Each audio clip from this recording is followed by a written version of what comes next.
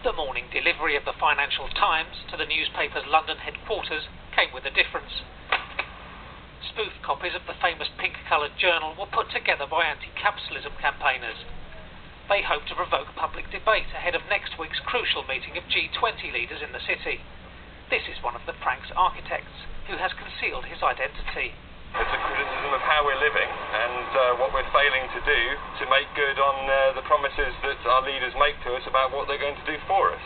We have to make them stick to their promises and actually uh, deliver the kind of world that we want to live in.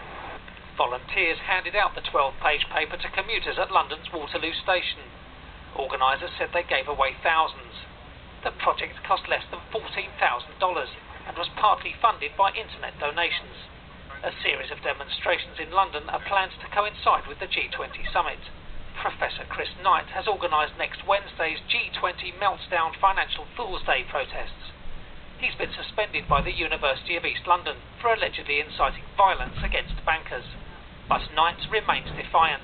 We're not going to be eating a banker, we're not going to be um, burning a banker, and we're not going to be hanging a banker. The whole point of having an effigy is to let us hang or burn or eat the effigy. It's, it's humour, but if we're not allowed to laugh, of course, it gets a bit different and it can get nastier.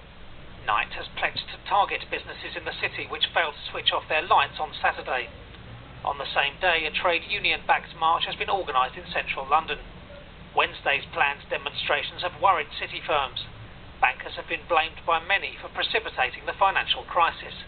Many have been warned by their bosses to dress down. A massive police presence is expected amid fears that levels of anger among activists are running dangerously high.